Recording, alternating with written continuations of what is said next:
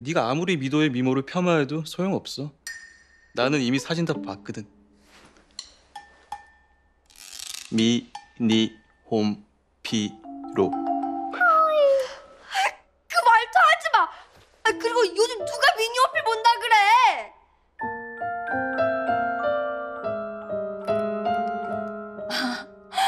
아 그랬구나.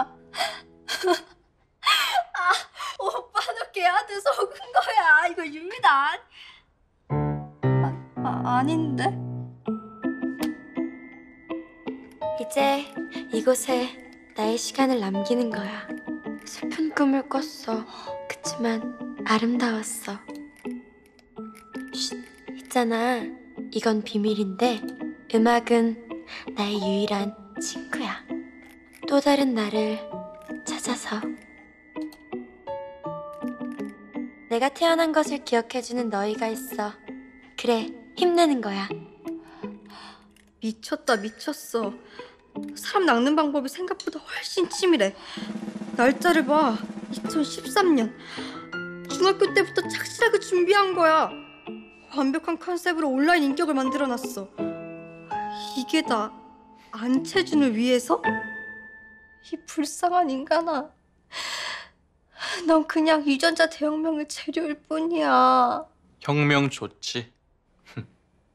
어때? 내가 외모 때문에 미도를 좋아하는 건 아니지만 그만한 지성과 이런 미모라면 정말 완벽하다고 할 수밖에. 완벽. 속지 마. 이거 다 뽀샤빨인 거 안 보여? 이게 윤미도가 맞아. 맞는데 이게 윤미도가 아니라니까?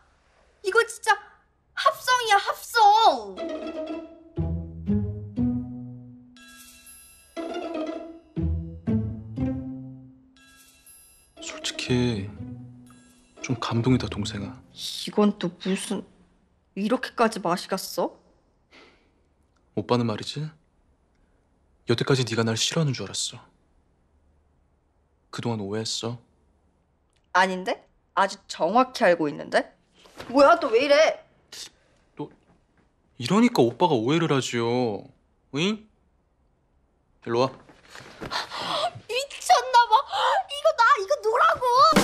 JTBC